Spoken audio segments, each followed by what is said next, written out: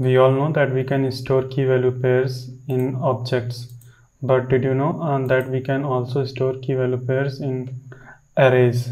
Let me show you how. Create an empty array and user dot first name equals john. User dot last name equal to user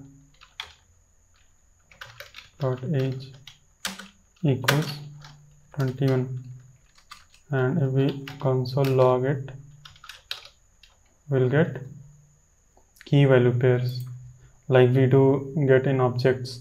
But if you will notice the length of uh, this array is 0 so it is not adding any index but uh, it can store uh, we console log length and it is still 0 see? As you can see it is still 0 so yeah we can store it like that. Not only you can store data as key value pairs but you can also access them when you want.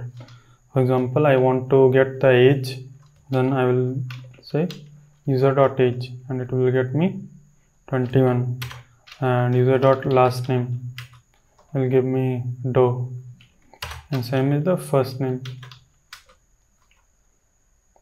We can do this uh, because in javascript arrays are basically objects. So if we uh, uh check type of type uh, type of user then it is object. So because user is an object uh, that is why we can store it uh, in the form of key value pair. So uh, I just noticed this one thing. Accidentally I discovered. So I just wanted to share with all of you